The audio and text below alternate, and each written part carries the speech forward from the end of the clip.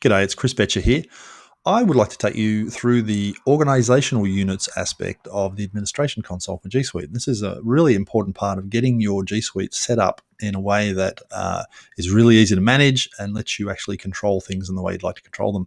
Um, the organizational structure is key to actually allowing your users to be able to do the things you want them to do and not do the things you don't want them to do. Um, and once you get the organizational structure right, everything else follows from there. So I'm in the console here. It's, it's the administration console at admin.google.com. If I go to organizational units, which is one of the modules in here, you'll see it brings up this is the what's called the OU structure. And OUs are really just containers, and they can have OUs or organizational units inside other organizational units, and you can structure them much the way that you would structure folders in a in a file server. So, um, for example, if I go down here, you see I've got an OU here called My School, which is actually a member of the root OU, which is in this case the domain name for this site, cafe.me. So under the root, I've got a number of OUs, and I also have some OUs with other OUs underneath them, which have other OUs underneath them, which have other OUs underneath them, and so on. And the important concept here is inheritance. And that means that whatever, if I make a change to the settings at this top level, it applies to everything below.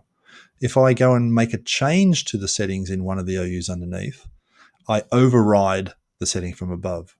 So this idea of having a setting that's applied to an OU, if you don't change it as it goes down that, that tree, uh, it will just inherit from above unless you specifically override it. Now, why is that really important? Well, I'll show you in another video as we go through that. I just want to make sure you understand the structures of OUs for a start. So you can see we have OUs inside OUs. And um, how do you make a new? How do you create new structures in here? Well, I'll go to this big yellow button up here where it says Create New Organizational Unit.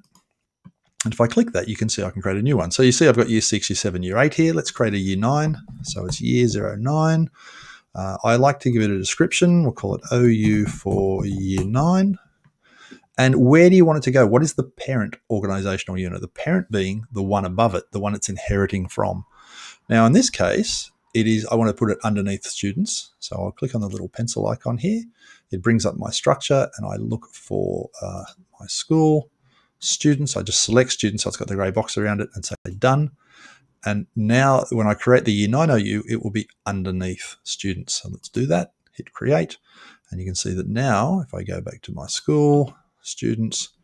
I now have an OU here for year nine, and I can put things in there or create sub OUs or whatever. So that's a really important concept. Now, what happens if you want to move an OU? What happens if it's in the wrong spot?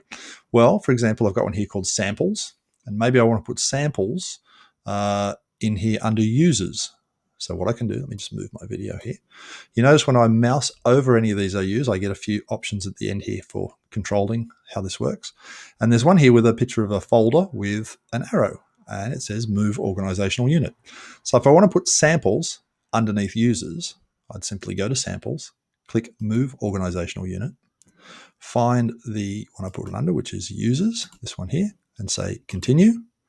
And it will then move uh, now it gives you a little warning here. And what it's saying here is that when I move it underneath this one called users, the users OU may have settings turned on or off. And when I put sample underneath user, it will actually inherit. And what, so it's just giving a little warning here saying some servers may not be turned on. Um, and so just, just as long as you're aware of it, okay? It does always say here this change may take up to 24 hours to take effect. I don't know why it says that because things happen almost instantly all the time. So pretty much ignore that. I say move, and you'll notice now samples is underneath users. So that there, that very important concept, make that bigger, that very important concept that you just saw there of creating an organizational unit, unit structure that models the structure that you want in your school. There are no real right or wrong answers for how you do this. Um, it's pretty common to have school students, staff, and structure it that way. It doesn't have to be, it can be whatever makes sense for you. The important concept is that there is this idea of inheritance, that whatever settings you apply to, a, to an OU is inherited by the ones below, unless you go to the one below and override it, which I'll show you how to do in another video.